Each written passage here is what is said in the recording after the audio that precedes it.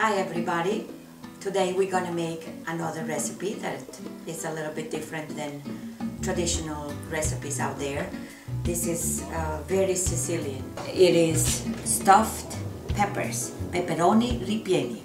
Now there are two different kinds of peppers. These are the long peppers and then they are the round and kind of shaped like an apple. Those I will be doing it another day and I will be doing with a different filling and um, that will be Calabrese style. This is the Sicilian style. So I'm going to show you these peppers. I already washed them.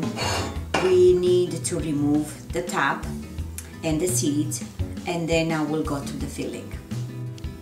Okay, before I go ahead and show you uh, how to uh, prepare the peppers, I'm going to show you all the ingredients.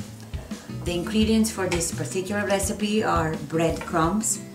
Now, the, the ideal breadcrumb will be something that is with made by fresh Italian bread. If you have one of those long French baguette kind of bread, um, that will be ideal. If you don't have it and you really have to use the seasoned already uh, made breadcrumbs, that will be fine too. But right now, because this is fresh bread, what I did, I already blend, um, grind it in a blender.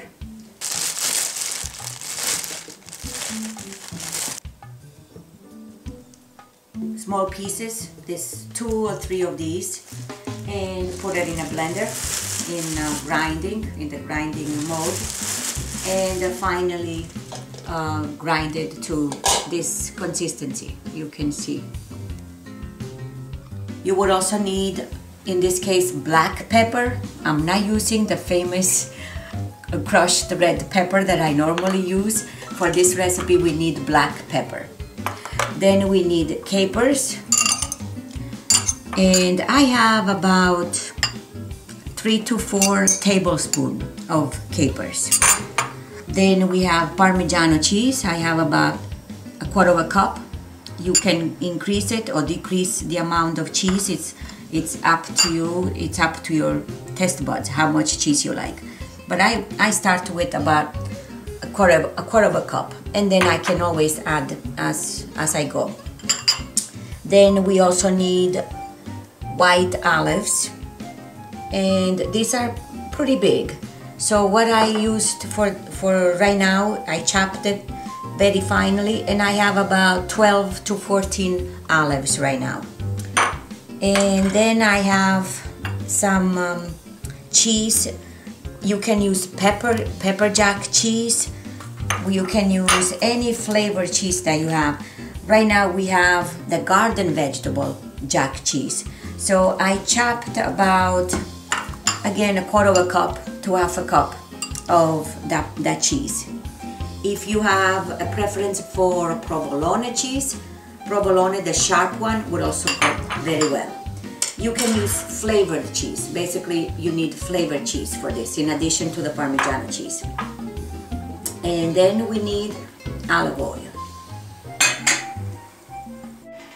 Okay, so you go to the peppers now. You need to scoop it up the top and scoop out also the seeds that happen to be in the very beginning of the, the very front of the pepper. And you keep on going as it comes, as many as you have. Right now I have a whole bag full of them, so they are about 12 for this packaging. And depends how you want to use this recipe. Do you want to use it as a side dish or as a main dish? If you happen to have a lot of guests and you want to use it as a side dish, this makes a perfect side dish.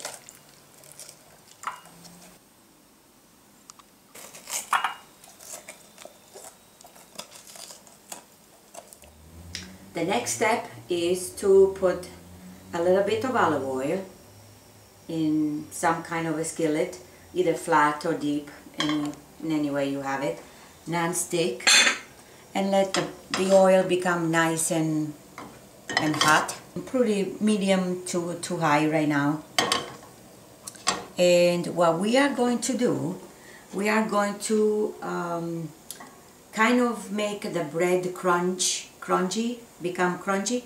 So I'm gonna stick it in there and then stir it until it becomes nice and golden brown. And then we can prepare it, we can season it with those ingredients.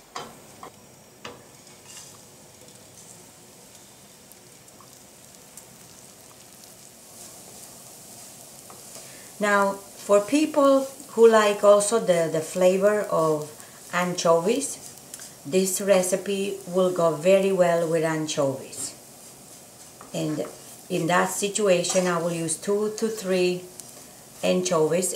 I would like you to see how the bread starts to to look and um, and you can hear the the crickling sound of um, getting cooked.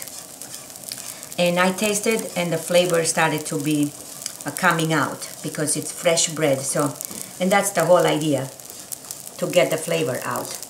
Okay. See and you can see that it's starting to change color a little bit. Um, overall it has been about five to seven minutes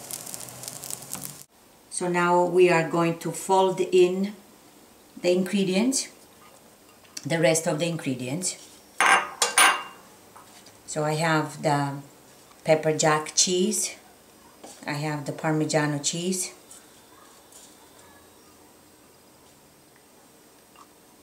And I have, I'm gonna put a lot of pepper. This is very delicious with lots of black pepper. So I used about one teaspoon. One to two teaspoon is fine. Depends on how hot you like it. Then I'm folding in also the olives. You don't need salt. I just want to mention this now because the, the capers are very salty and the olives are very salty. So you really don't need to add salt for this recipe. Otherwise it becomes extremely salty. Now this recipe can be fried or it can be baked. I have chosen to bake it because we are all healthy, conscious people nowadays. And then you want to spread it and coat it with some olive oil because it, it has to cook. The pepper needs to have some moisture. Now the goal is to get the stuffing as deep down as, as you can manage to get it in. I suggest to use a spoon and kind of aid yourself with it. You can also use your finger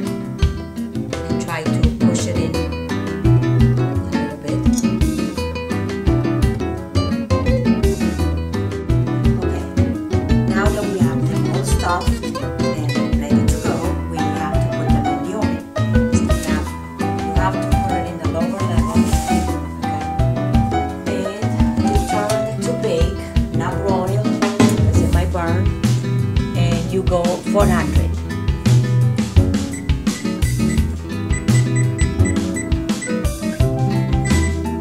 And then you do 30 minutes.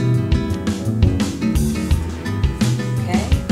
Now I timed it for about 30 minutes, but then I checked a little bit with the fork and I decided to leave another 5 extra minutes. So it has been so far about 30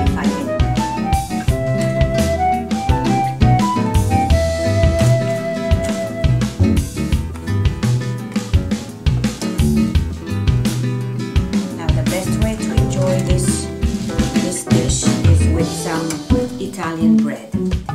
So the Italian bread that we use is normally ciabatta bread because it has a lot of flavor. So this is this is it comes in this size or it comes in a longer in a longer um, style as well.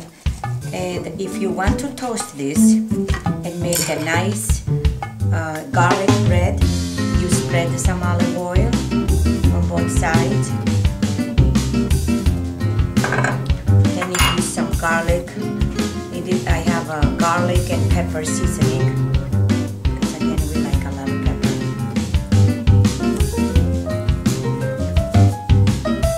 And then vegetable with Parmigiano cheese. And you put it in the toaster or you put it in the oven for about 5 to 10 minutes.